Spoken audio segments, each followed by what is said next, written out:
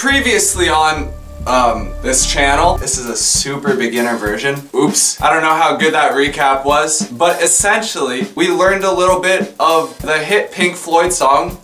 Oops. The hit Pink Floyd song, Wish You Were Here by Pink Floyd. It went really well, but it's because I learned how to play the wrong part. So today, I'm just gonna be trying to learn the solo, and the goal is to learn how to play it in Rocksmith, and then be able to turn off Rocksmith and still be able to play it. I know it's crazy.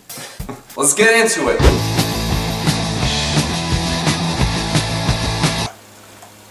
For Rocksmith, the game typically registers electric guitars better than it does acoustic. Usually I'm driving a Ford, but today I got a Ferrari. so I'm also playing on like brand new strings, which I restrung myself, not the brand. Alright. So update. Had to update the Xbox.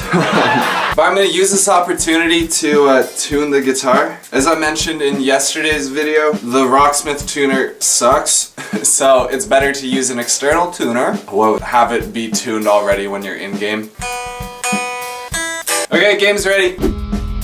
So in a surprise turn of events, I thought this game had Wish You Were Here, and it does, by Incubus. I thought, you know, maybe it's a cover of the Pink Floyd one. It's not. It's not a cover. So what I'm going to be doing is learning a different song. Go by recommended. Just gonna 100% Blitzkrieg Bop.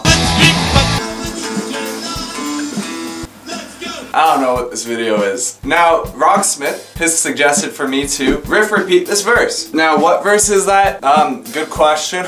I don't know. I'll riff repeat it till I can play it 100% because that's what I was originally gonna do with the Pink Floyd song. What a video. You might think that I'm sweaty. I'm just crying out my entire face and uh, body. So that's exhilarating. Since this video's, you know, totally gone off track, I'll try and learn like a solo from some song rather than, you know, just power chords over and over and over. Like I love Blitzkrieg Bop. Basket case is fun, but then I have to retune the whole guitar. And I'm not, I'm not doing that. Aye,